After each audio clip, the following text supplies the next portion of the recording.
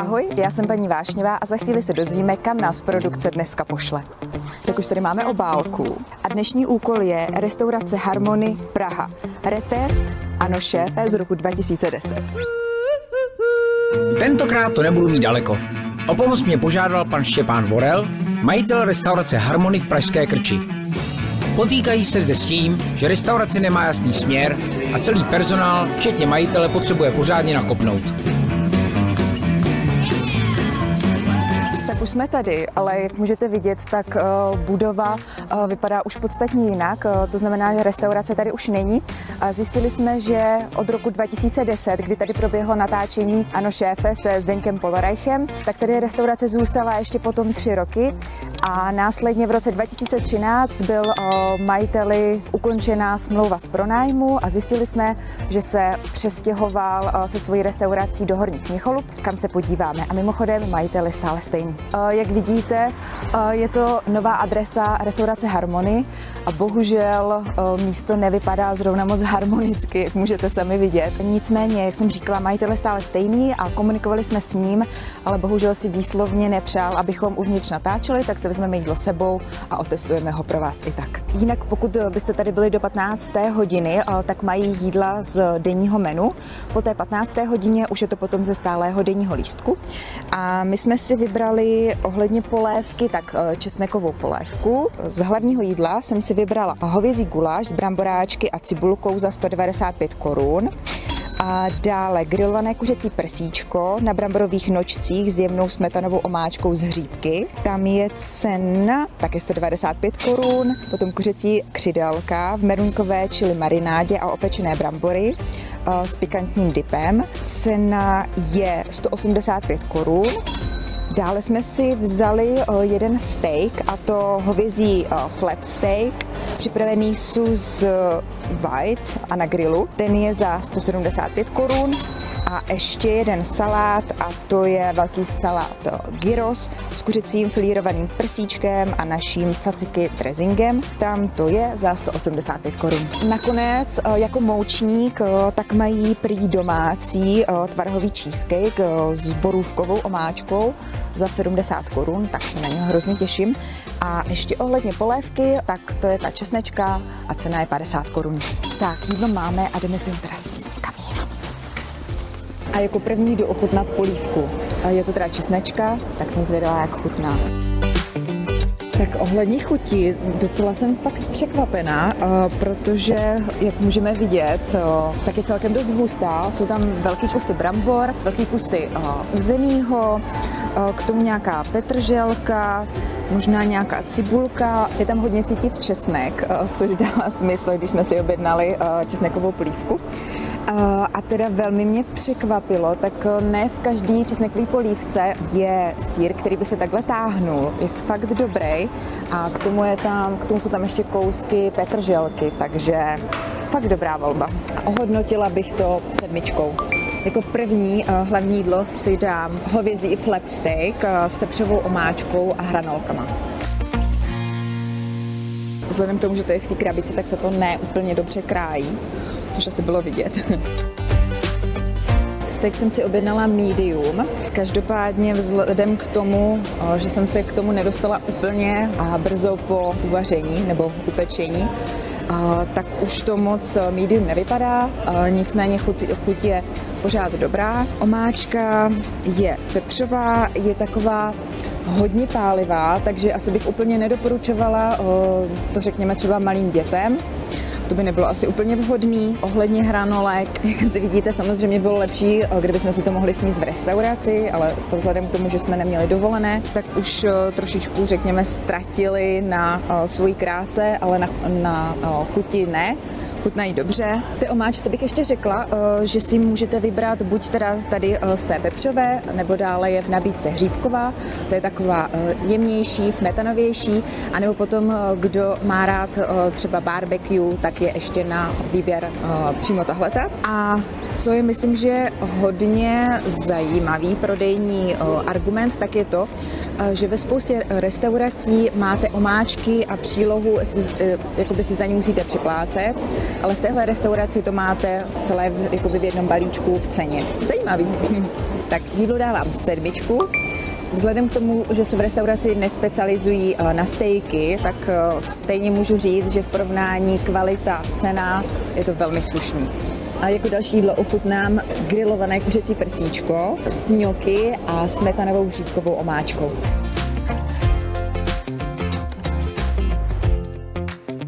Když jsem si objednala to kuřecí prso, tak jsem se možná, řekněme, trošku bála, protože často se může stát, nebo se mi stávalo, že to maso je takový vysušený, ale v tomhle případě tomu tak vůbec není. Krásně se uh, rozpadá na jazyku a v kombinaci s tou smetanovou hříbkovou omáčkou to úplně krásně klouže do krku. Velmi mě to překvapilo. Ta omáčka, tak jsou tam velký kusy hříbků. Kdyby nebyla zima, tak bych se nebála dokonce říct, že to chutná jako kdyby to byly čerstvé houby. Vůbec se mi nezdá, že by to byly třeba zmražené hříbky. Moc dobrý.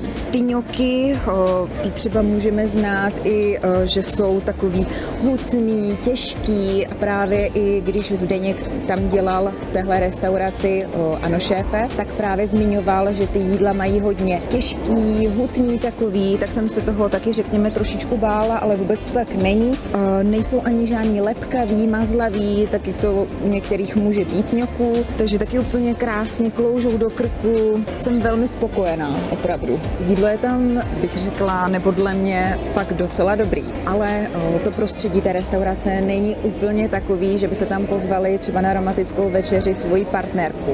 Je to spíše takové místo pro místní štamgasty nebo pro lidi, kteří třeba nejsou úplně tak nároční na nějakou fajnovou atmosféru restaurace, tak pak bych asi zvolila toto místo a jídlo tomu opravdu odpovídá. A nezapomeňte nám dát like, okomentovat a tím podpoříte náš kanál.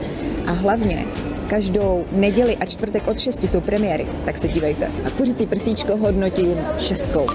A teď tu mám před sebou marinovaná kuřecí křidélka s opečenými bramborami. Ještě tam, koukám, že nám tam ten dip pěkně, pěkně schovali, tak musíme se do toho nějak dostat. Úplně mě to teda že neláká, ale dobře. A je to pikantní dip teda. Počkejte. Hmm, pálí, pálí, pálí. Hmm, tak bych úplně nedoporučovala. Ty kuřecí křidélka jsou v meruňkovo chili marinádě. Ano, slyšíte správně. Tuhle kombinaci jsem teda ještě nikdy v životě neslyšela a ani neochutnala, tak jsem na to fakt zvědavá, jak to bude chutnat. Tak jsem nejvíc tohohle jídla asi byla zvědavá právě na tu meruňkovo chili marinádu. Když jsem ji ochutnala, tak je to hodně sladký, ale nevím úplně, jestli tam cítím 100% tu meruňku, ale ta sladkost tam rozhodně je. Na konci je tam takový lehký chili ocásek, takže to koresponduje s popiskem. Co se týče těch eh, samotných eh, kuřecích křidílek, tak tam se asi možná nedá úplně něco zkazit, prostě chutná to jako kuřecí křidílka.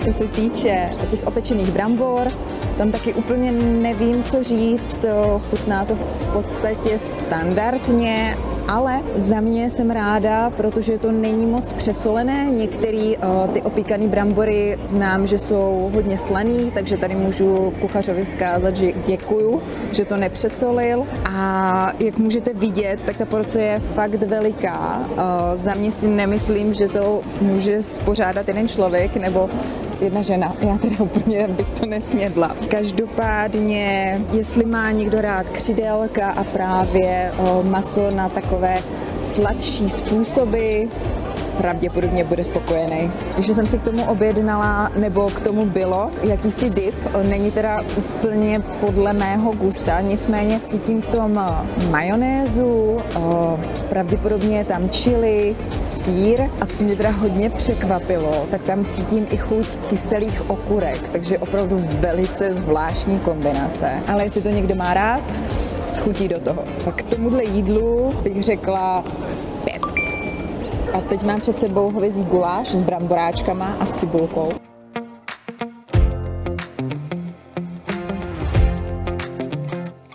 Nejdřív se podíváme na ty bramboráčky. Za mě úplně to nevypadá, že by byly domácí. Spíš to chutná a i vypadá, že to je o, nějaký koupený polotovar. O, je to takový masnější a nechutná to prostě klasický domácí bramborák od babičky, řekněme. Guláš je za mě hrozně ostrý. Maso je dobrý, je takový měkoučky, se rozplývá na jazyku, ale kazí mi to prostě hrozně ta ostrá chuť podle mě až úplně zbytečně. Taky je tam hromada cibule, ale možná je to záměr, abyste si k tomu koupili 5-6 piv anebo vypili hromady vody.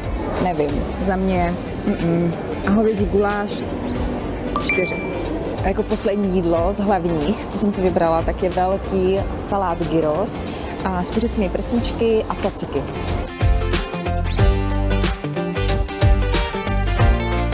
Musím říct, že s mojí poslední volbou jsem velmi spokojená.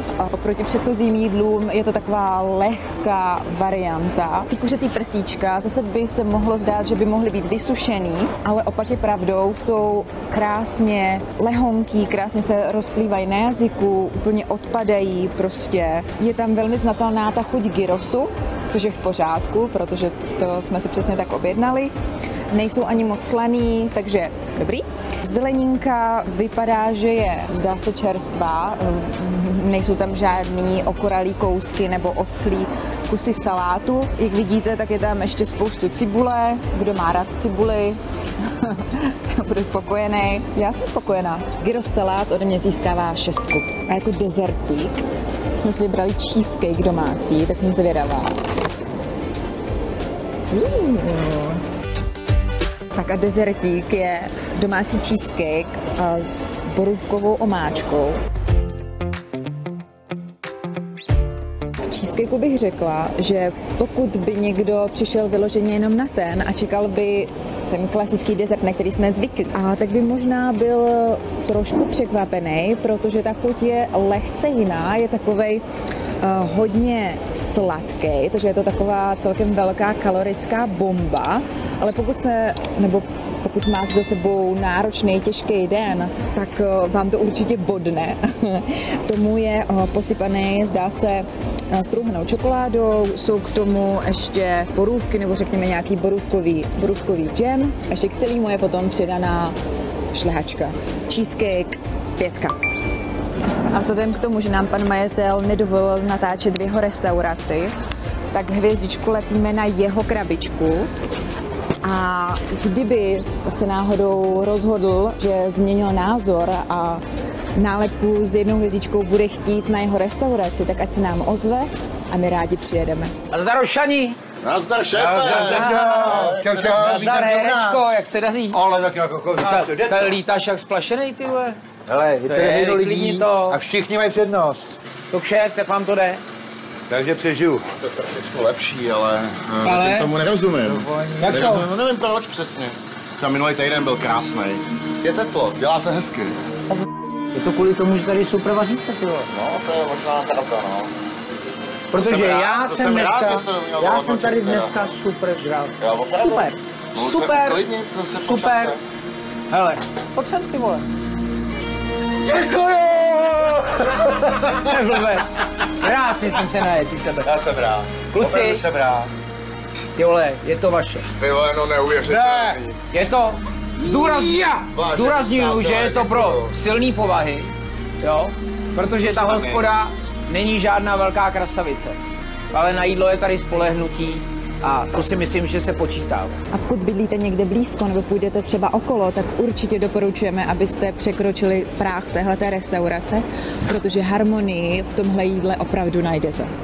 A pokud se vám naše videa líbí, tak budeme rádi, když nás budete dál sledovat, dáte nám odběr, like a nebo komentář. A hlavně žijte šťastně a vášnivě.